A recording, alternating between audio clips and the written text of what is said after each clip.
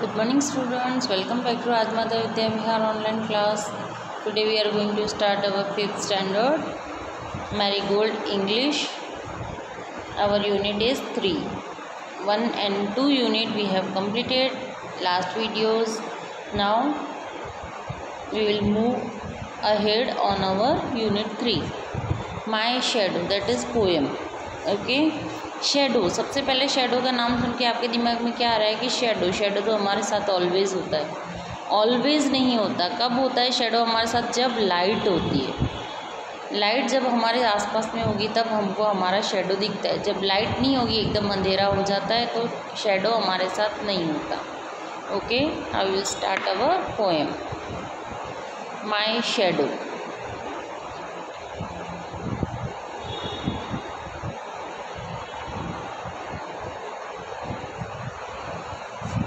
I have a little shadow that goes in and out with me मेरे पास एक छोटा सा शेडो है। हम छोटे हैं, इसलिए छोटा होगा। हम बड़े तो हमारा शेडो भी बड़ा।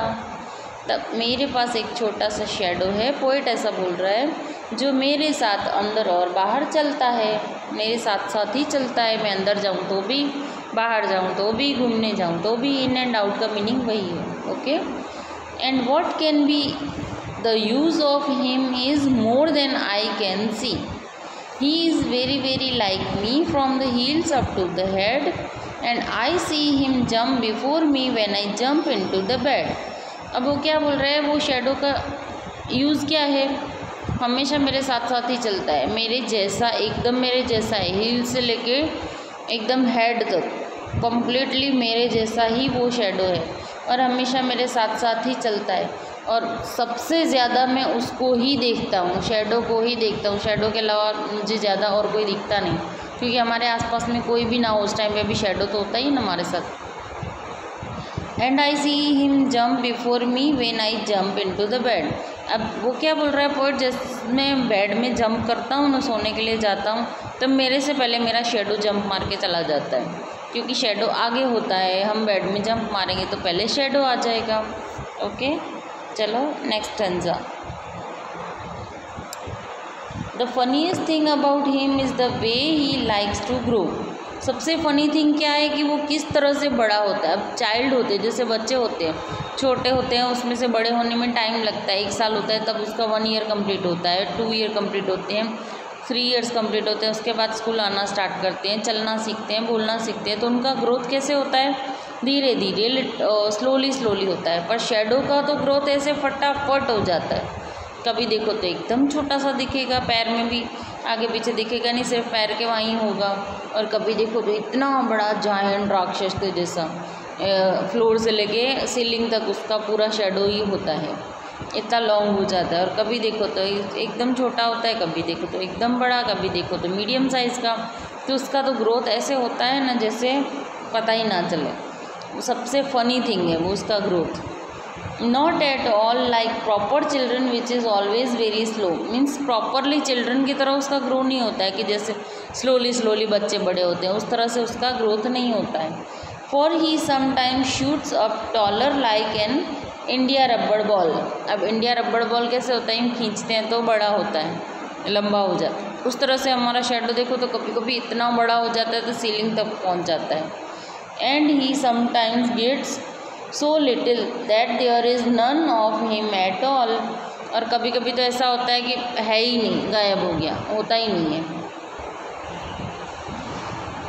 और कभी कभी इतना धीमे धीमे बड़ा होता है ना कि नीचे देखेंगे तो सिर्फ़ हमारे पैर तक ही होता है। ऐसा क्यों होता है कि जब सनलाइट या कोई भी लाइट है, हमारे ऊपर बल्ब भी होगा नाइट के टाइम पे तो एकदम ऊपर होगा, जब टॉप पे होगा तो हमारा शेडो एकदम छोटा हो जाता है। और राइट साइड पे होगा तो हमारा शेडो लेफ़्ट साइड पे आता है। और एकदम स्लैंटिंग में जब वो सनलाइट आती है या तो लाइट आती है तो शेडो एकदम लॉन्ग हो जाता है। ओके तो शेडो के ग्रोथ का मेन रीज़न ही वही है। जैसे लाइट होती है लाइट के साइड में उसका इफ़ेक्ट होता है तो हमारा शेडो क्रिएट होता है। चलो, अभी नेक्स्ट स्टेंजा में क्या है देखते हैं।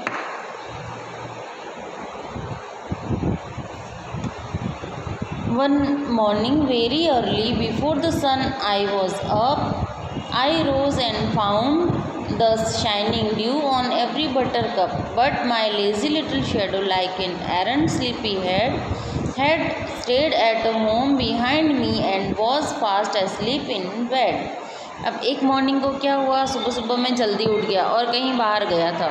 बाहर गया था तब, बाहर गया था तब क्या हुआ कि मेरा शेडो तो मेरे साथ आया ही नहीं। क्यों नहीं आया था उस टाइम पे? क्योंकि अर्ली मॉर्निंग थी, अभी सनलाइट हुई नहीं थी। अब सनलाइट नहीं थी अंधेरा अंधेरा था तो इससे शेडो कैसे हमारे साथ में आएगा? शेडो होगा ही नहीं सनलाइट नहीं होती तो शेडो भी नहीं होता।